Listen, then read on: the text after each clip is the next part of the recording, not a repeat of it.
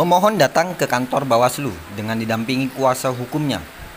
Petugas keamanan memastikan pemohon telah menaati protokol kesehatan dengan menggunakan masker berstandar.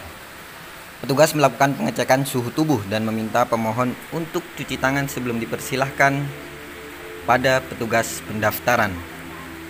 Kemudian petugas keamanan mengantarkan pemohon menuju meja pendaftaran. Petugas penerima permohonan menerima berkas permohonan dari pemohon. Kemudian petugas penerima permohonan memeriksa berkas-berkas permohonan dan dituangkan pada formulir PSP2. Petugas juga memberikan informasi pendaftaran permohonan melalui aplikasi SIPS. Selanjutnya petugas memberikan surat tanda terima permohonan kepada pemohon untuk ditandatangani dan mencatat ke dalam buku penerimaan permohonan sesuai formulir PSP 24.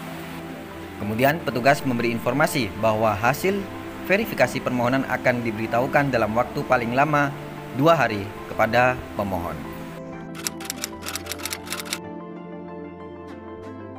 Petugas penerima permohonan menyerahkan berkas permohonan disertai dengan tanda terima kepada pejabat struktural yang kemudian akan dilanjutkan pada tahap pleno untuk verifikasi di tingkat komisioner.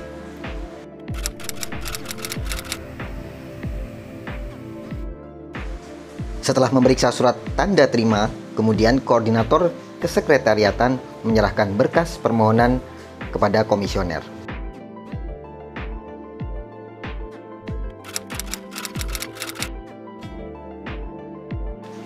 Anggota Bawaslu memeriksa kelengkapan syarat formil dan material pada berkas permohonan.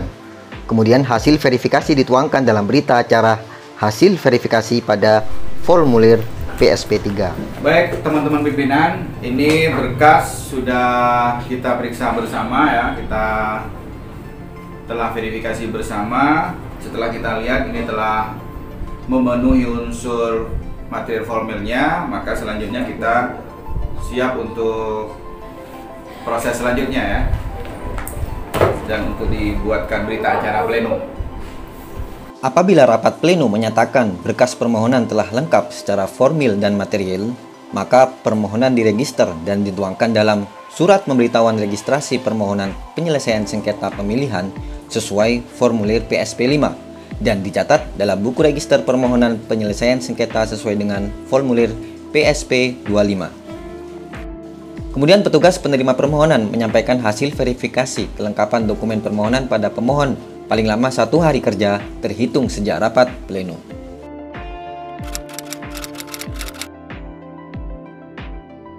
Koordinator Sekretariat mengeluarkan SK Majelis Musyawarah dan jadwal musyawarah berdasarkan hasil pleno. Kemudian petugas melakukan pemanggilan untuk musyawarah tertutup kepada pihak pemohon dan termohon sesuai dengan formulir PSP 11.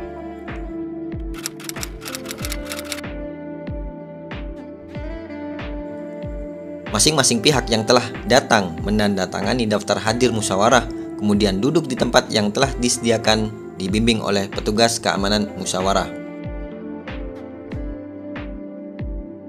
Musyawarah tertutup pertama dibuka dengan sapaan awal pimpinan musyawarah dengan memperkenalkan diri dan mempersilahkan masing-masing pihak untuk memperkenalkan diri, dimulai dari pihak pemohon. Kemudian pimpinan musyawarah menyampaikan tata tertib musyawarah alur proses musyawarah dan menjelaskan perannya yang netral untuk membantu proses musyawarah. Kemudian pimpinan musyawarah mempersilahkan kepada para pihak untuk menjelaskan kronologis permasalahan dimulai dari pemohon. Dilanjutkan dengan pimpinan musyawarah memberikan arahan-arahan atau solusi-solusi sesuai kronologi permasalahan dan menawarkan pada para pihak untuk berdamai. Apa yang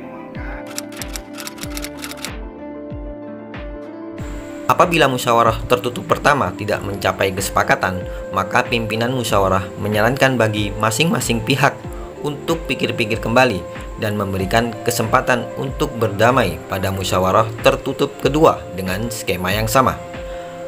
Apabila dalam musyawarah kedua para pihak tidak mencapai kesepakatan untuk berdamai, maka pimpinan menyampaikan pada para pihak bahwa penyelesaian sengketa dilanjutkan dengan musyawarah sidang terbuka dan sekretaris musyawarah menuangkan dalam berita acara musyawarah sesuai formulir PSP 15.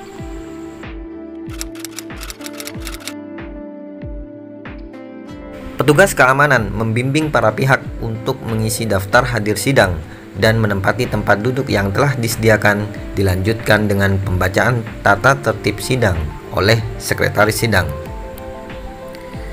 Pimpinan musyawarah dan asisten musyawarah memasuki ruang musyawarah dan menempati posisi masing-masing. Kemudian menyampaikan salam pembuka dan menyebutkan hari dan tanggal pelaksanaan musyawarah, nomor register, serta agenda musyawarah dan membuka musyawarah dengan ketukan palu sebanyak tiga kali. Pimpinan musyawarah mempersilahkan kepada pemohon untuk memaparkan permohonannya dan setelah itu mempersilahkan termohon menyampaikan jawabannya.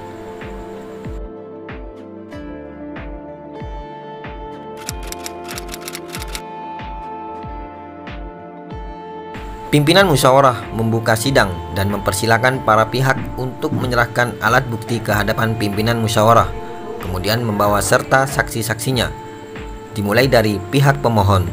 Dalam hal pemberian kesaksian, para pihak dapat mengajukan saksi ahli untuk memberikan keterangan sesuai keahliannya.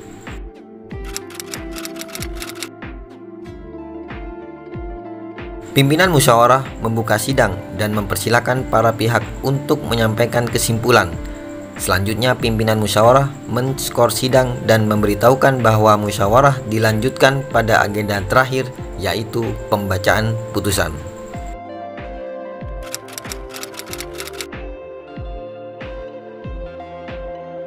Pimpinan musyawarah membuka sidang dan membacakan putusan, kemudian menutup sidang dengan ketukan palu sebanyak tiga kali.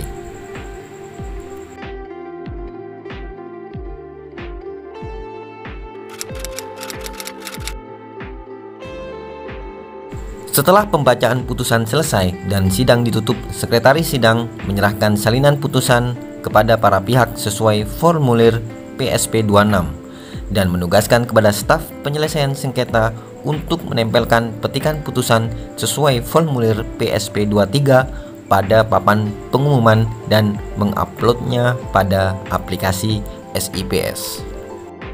Demikianlah video tutorial alur penanganan sengketa untuk dijadikan acuan dalam musyawarah penyelesaian sengketa pemilihan.